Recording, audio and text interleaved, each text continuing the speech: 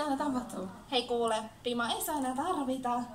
Sä voit kuule ihan jäädä sinne äitiyslomalle nytte. Okei, okay. heippa. Moikka. Niin sä oot aloittanut Intossa eilen. Kyllä. Tapahtumakoordinaattorina. Mikä fiilis? Millä No. mielellä? Tosi hyvä fiilis, että täällä on ollut lämmin vastaanotto. On ollut niinku, tosi hyvä niinku, vaikutelma on tullut, tullut tulevista työkavereista ja työtehtävät vaikuttaa myös innostavilta.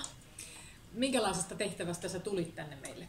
No, ää, mä oikeastaan suoraan tuli viime viikolla, oli viimeistä päivää tuolla Jyväskylän ammattikorkeakoulussa. Mä olin semmoisessa valtakunnallisessa EMK-nimisessä hankkeessa, missä kehitettiin ammattikorkeakoulujen digitalisaatiota.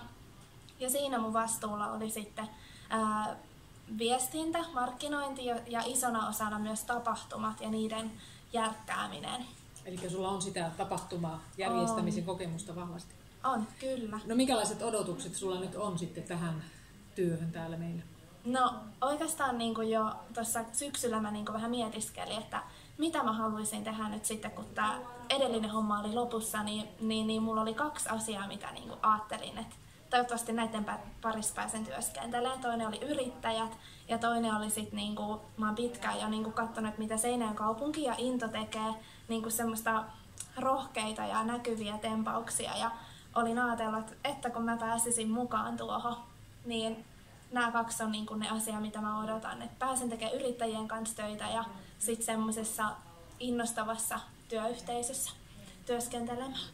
Hyvä, kiitos tästä. Aloitetaan ja jatketaan hyvällä sykkeellä. Kyllä, kiitos.